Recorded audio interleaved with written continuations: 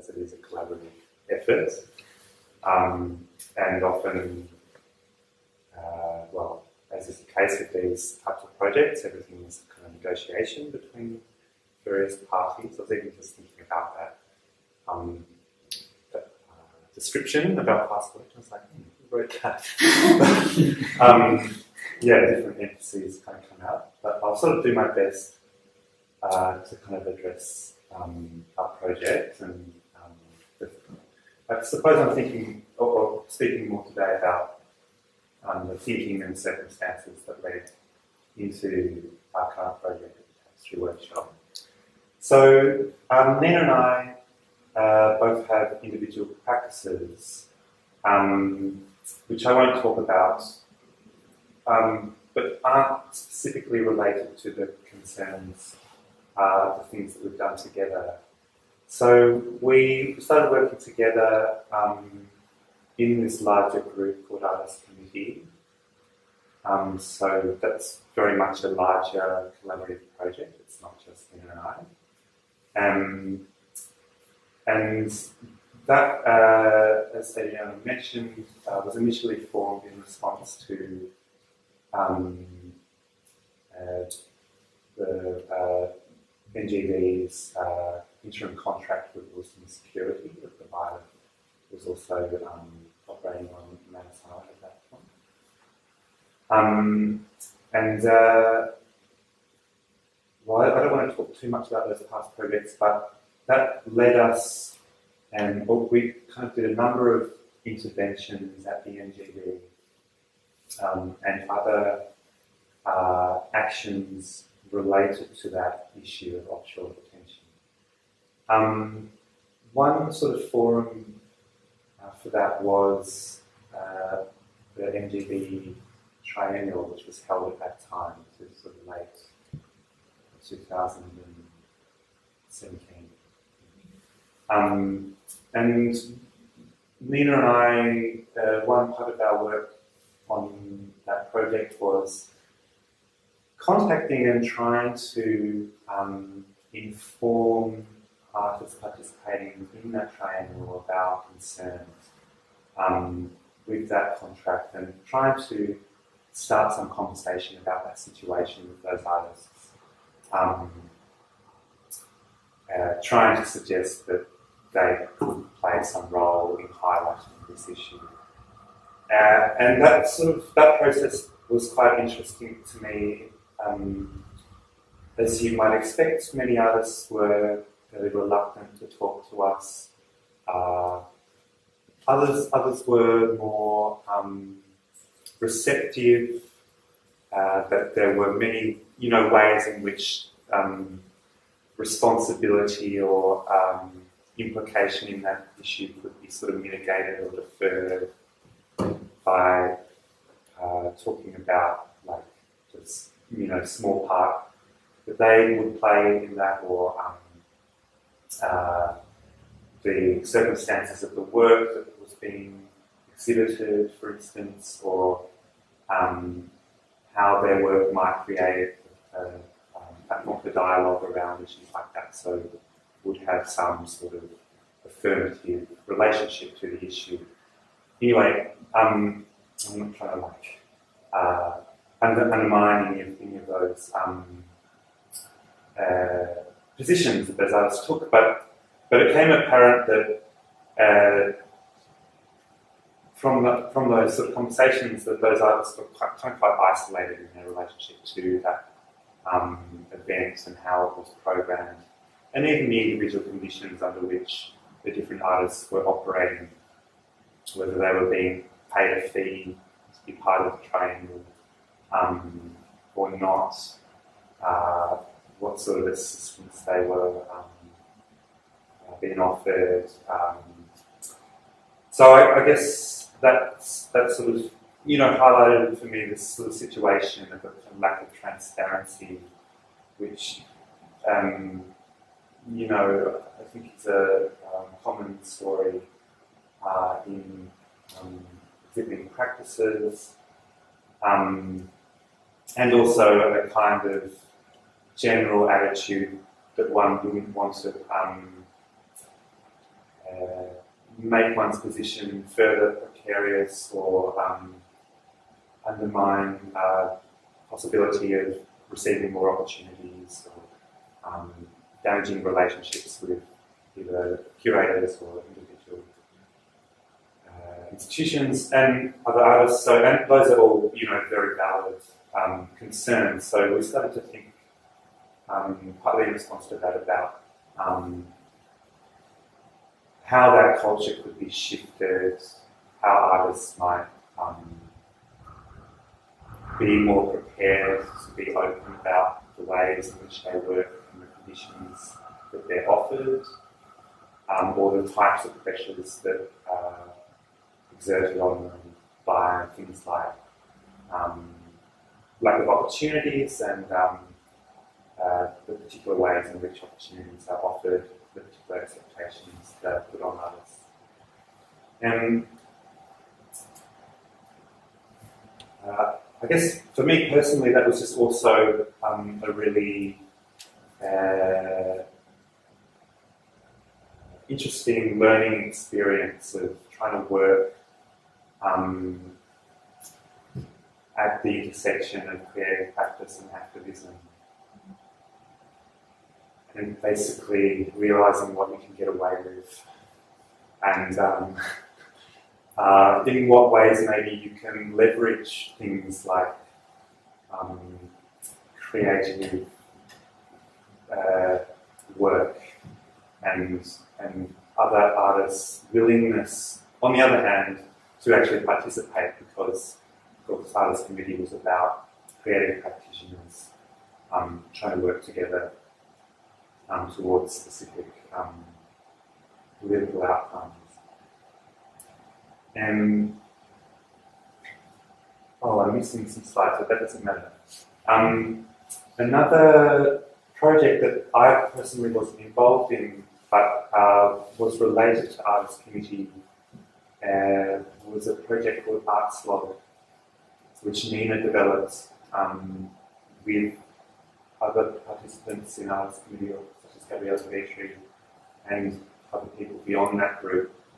And that work is currently being exhibited at the Town Hall Gallery in a show called For Love or Money, um, curated by Sophia Carter. So uh, do check out, it's an um, amazing show. Um, yeah, it's until towards the end of August. Um, so that, that work is, is being re-exhibited. It was um, developed for, it was, a, was as part of the State of the Union exhibition at the um, Gallery at Melbourne Uni last year. Uh, and that uh, consists of a database uh, in, in, which artists are able, not just artists, artists and art workers, curators, administrators, directors, um, producers, people involved um, in the arts can log stories about particular experiences they've had uh, you know, good, neutral, or bad.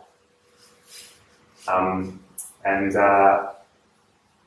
I guess that follows on from that thread about the um, triennial of, of, trying to uh, introduce some degree of transparency of, um, but I guess more than that of um, making it clear that artists' individual experiences are not just isolated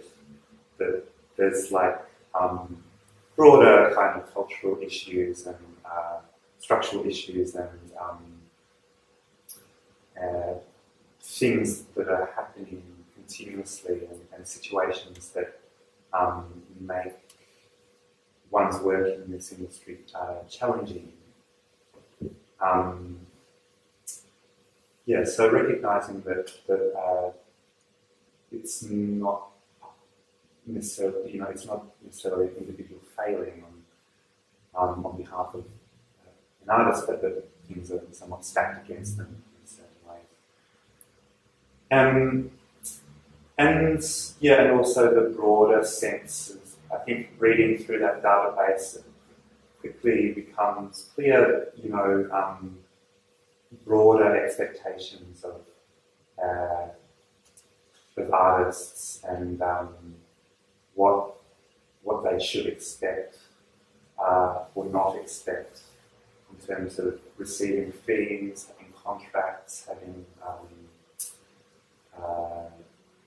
consideration of the, the amount and type of labour that goes into creating artwork or um, curating an exhibition or, or whatever And so our current projects, Nina and I um, wanted to sort of follow from that uh,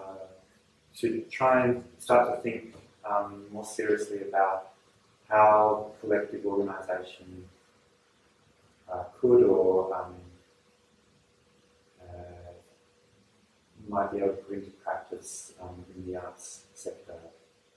So, um, a project for the Tapestry Workshop was originally about just trying to envision um, what that might look like, um, what the key sort of concerns uh, might boil down to, um, and how to sort of promote this idea of um, or organising or um, uh, you know trying to work together to confront these sort of um, systemic issues in the arts. Uh, and that originally, well, we had different ideas about um, what that might amount to, but um, on the one hand, it's kind of like a, provocation, it's simply trying to propose the possibility of that sort of organisation. And, and um, what we're doing here um, is making banners, particularly, uh, as if such an organisation already or union already existed. Um, I guess to simply provoke that question of why isn't there um, a more substantial organisation through which artists are collectively organised. Uh, of course, there is some history of this in Australia, but there isn't currently something in my mind that fulfills this function. Um, and we held a couple of workshops here a few weeks ago. Um, I suppose because what we're interested in in this project uh, is like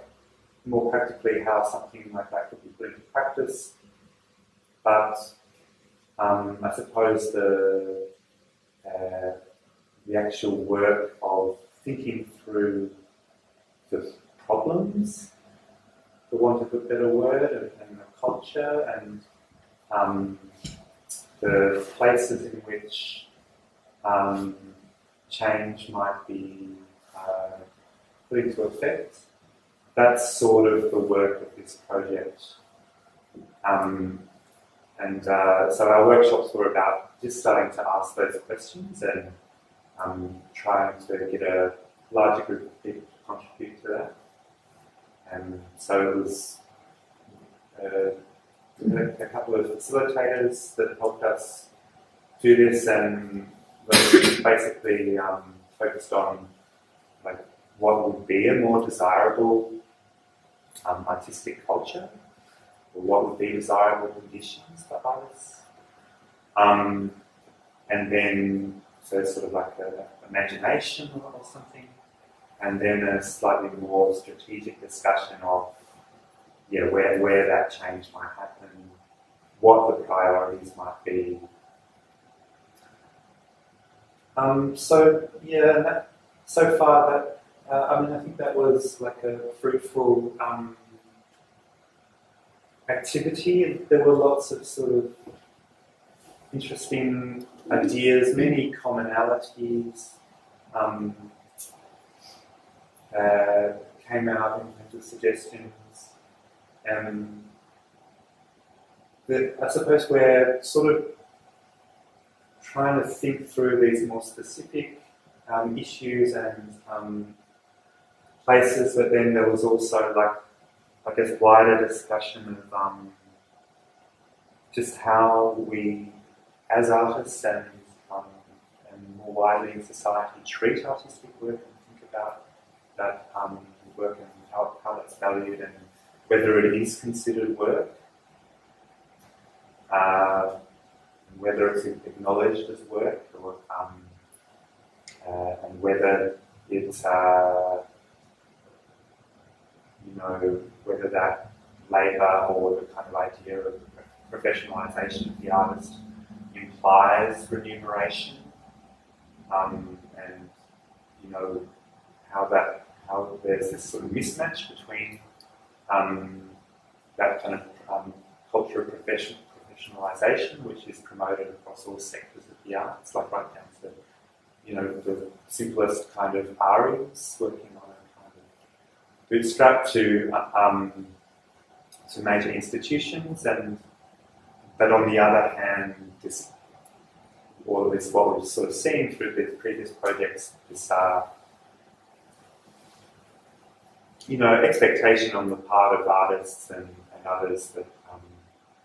that, you know, remuneration is like not a priority, was not a, uh, not considered a default um, uh, ex- expectation for artists. Yeah, so I, I guess with our banners, which are very much, you know, um, rudimentary state at the moment, trying to think about that larger cultural um, perspective and, and how we might um, promote discussion around